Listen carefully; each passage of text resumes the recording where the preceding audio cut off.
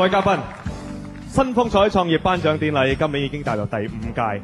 喺過去五年裏邊呢，工新移民嘅故事，佢哋每一個嘅得獎者，佢都係企呢一個台上高，同大家一齊見證咗佢哋嘅成功與失敗、笑容與淚水。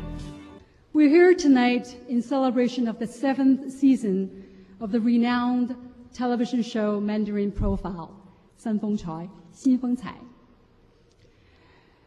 The show captures the trials and tribulations encountered by Chinese immigrants, not just settling in Canada, but succeeding here.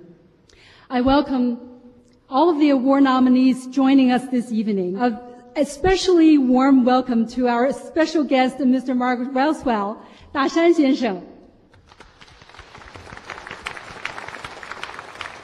Call upon from the federal government Minister of Environment, Honorable Peter Kent, to say a few words for us.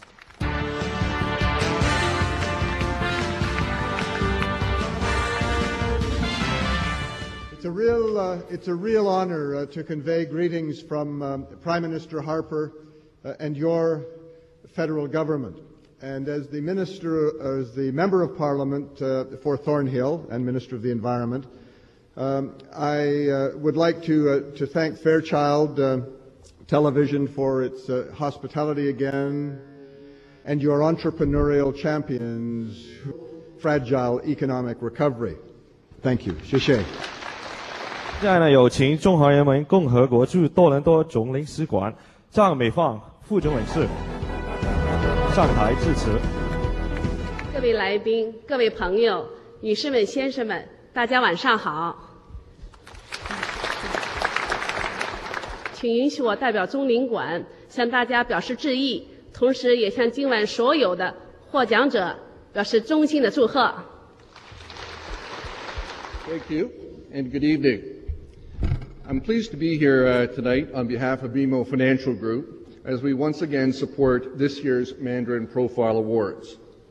This is a very special night where we take the opportunity to honor outstanding entrepreneurs in the Chinese Canadian community who have created their own compelling success stories.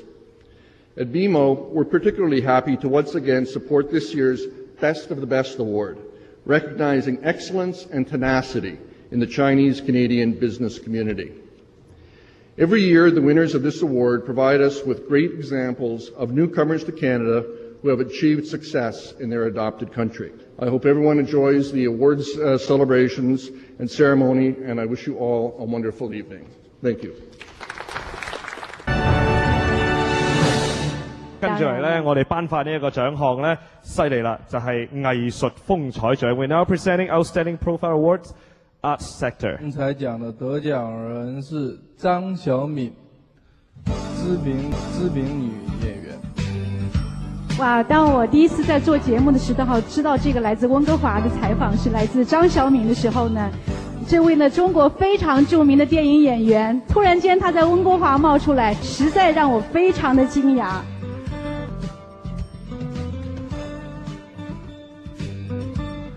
好，接过这个奖杯之后呢，请您为我们的电视观众呢讲几句话。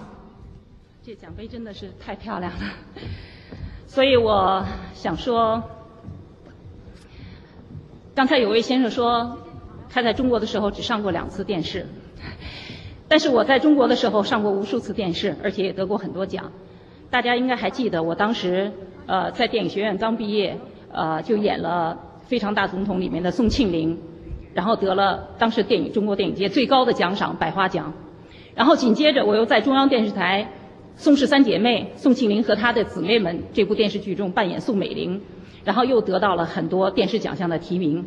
还有你们大家都熟悉的那个演员张国立，曾经在《死水微澜》里面，嗯，我和邓婕、张国立还有很多明星呃在一起合作，然后张国立也扮演过我的丈夫。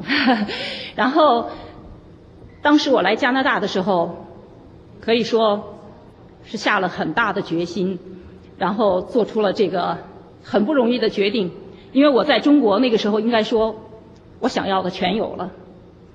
然后当我踏上加拿大这片土地的时候，我真的眼前是一片茫然。我知道我将把过去的所有的一切成功、名誉、头上的光环全部要扔在脑后，但是我还是毅然决然的踏上了飞往加拿大的飞机。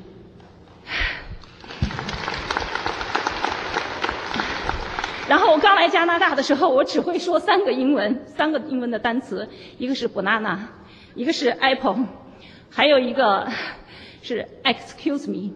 啊，因为当时大家告诉我说这句话很重要，你如果到公共汽车站去问路的时候见到一个人，你要说 excuse me。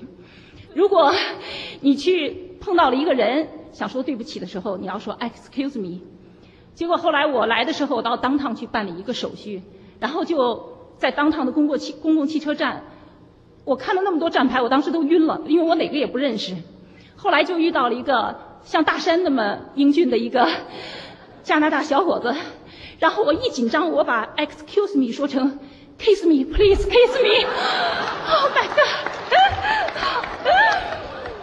然后这样的笑话还有很多，所以当时那个人看着我说：“瑞雷。”当然，这都是刚 landing 定时候的那些事情。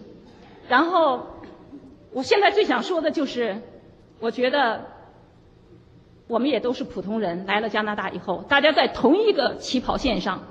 所以这个时候，我当时下定决心，我觉得不管我能不能成功，这都不重要。人的一生是为信仰而活，是为我们的梦想而活。所以，为了我们的梦想，我也想把我的梦想带给来自中国的千千万万中国的青年人。所以我创办了加拿大梦之旅电影学院，而且我也希望让西方主流社会能更多的看到我们正面的中国文化，把我们中国文化更多的带到加拿大这片美丽的土地上。现在我特别想说，我非常感谢加拿大，而且我爱加拿大。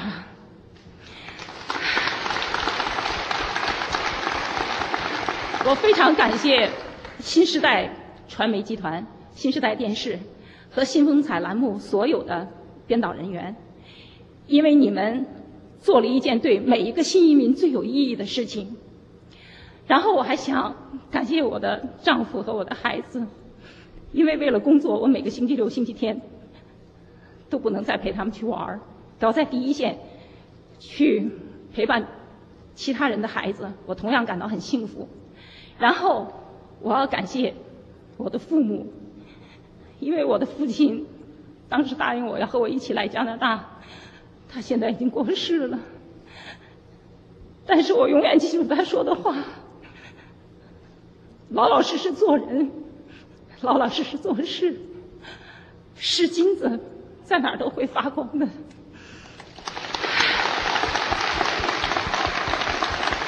最后，我想说。我要感谢我的祖国，I'm very appreciative for China. Thank you so much. 非常感谢，非常动人的一番话，谢谢我们美丽依旧、风采依旧的小敏姐姐。那么他也是在温哥华可以说是放下昔日的光环，从头来过，再创辉煌哈，辉哥。所以呢，其实真系哈每一位得奖者呢，其实佢哋嘅故事系好值得我哋去借鏡，亦都好值得我哋去学习。